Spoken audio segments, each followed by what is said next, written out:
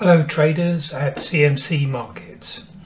Welcome to another update by RRG Research for Monday the 12th of September. I'm recording this on a rather sad Friday the 9th of September.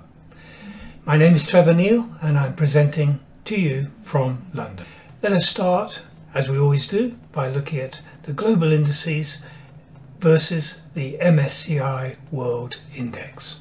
Now we have seen this week um, that the world is in fact rotating and, uh, and, uh, continuing sort of uh, trends in the relationships between the US indices and the European industries has continued uh, to expand.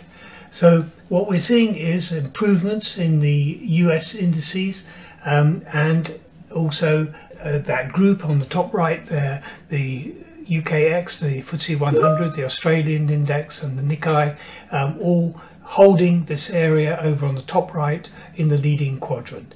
The US indices generally are close to the MSCI World Index, so correlating with it, not surprising given its heavy weight in the uh, MSCI World Index, but um, they're close to them, uh, and so there's no outperformance opportunity from them.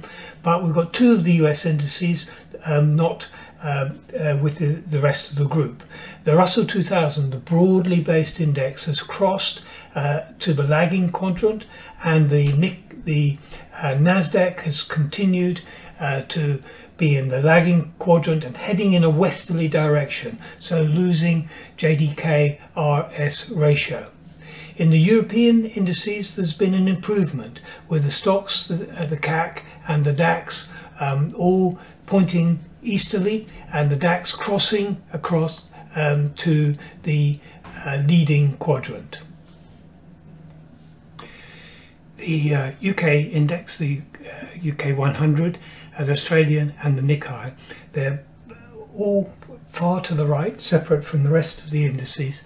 Uh, so with strong JDK RS ratio and generally pointing easterly as well, so they should maintain that position.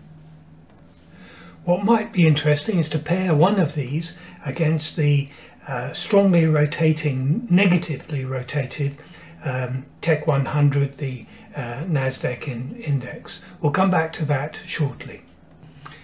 Now let's break this group, this um, group in the leading quadrant, the FTSE 100, the ASX 200 and the Nikkei, up a bit and see where the real opportunity lies in there. This is a weekly chart of the uh, FTSE 100 UK X index.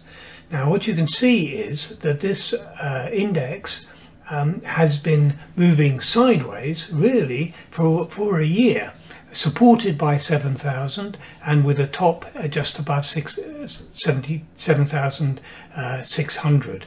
Um, and um, this has been a very you know relatively tight range. Now with the whole complex of uh, world stock indices weak, um, this this moving sideways has actually uh, put it in that strong position in the leading quadrant just by not going down. So it's a relative thing that we're talking about here, and uh, this one is looking good by not going down. Uh, the range is pretty established. We're in the middle of the range right now. It's holding up. And what's interesting to me is that the relative strength index here, which has marked the tops and bottoms of the range really well, is around the midpoint, um, just below 50 at the moment, neutral. And so the indication is, at the moment, is that it will continue to hold this position of stability uh, while the rest of the complex is under pressure.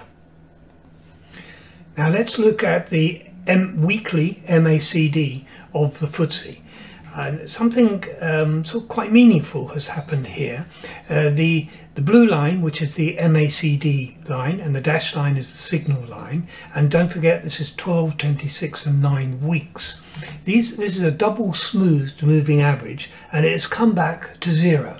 So when a double smooth, the difference between two moving averages that are smoothed um, comes to zero, the difference is zero, this is a strong message of flat, sideways trading, and it's just pointing easterly there now.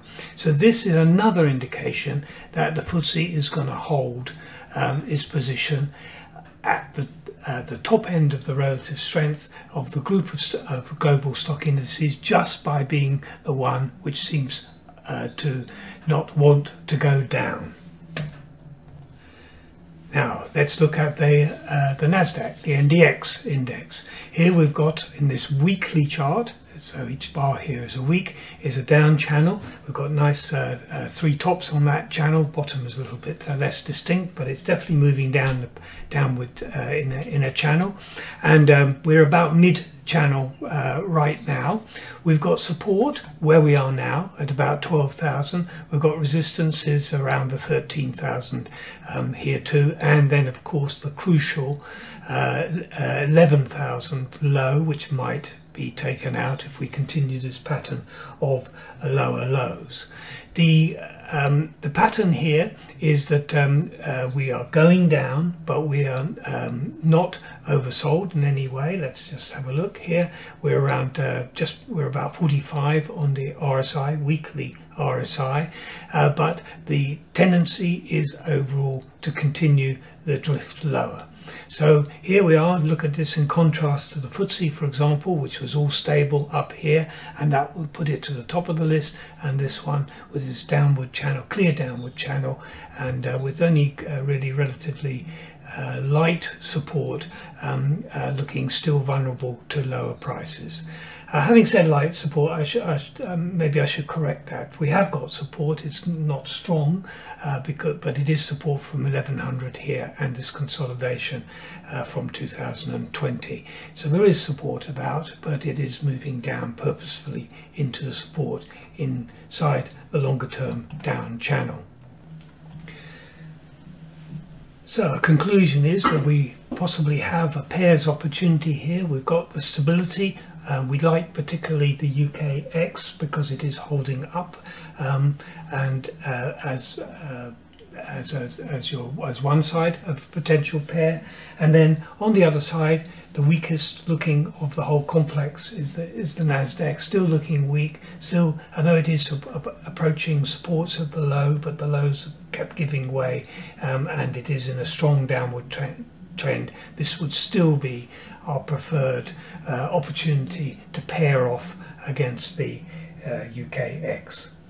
I wish the very, very best for the weekend, and uh, thank you very much for listening from Julius and I. We'll be back to you again next week with more from RRG Research. Thank you.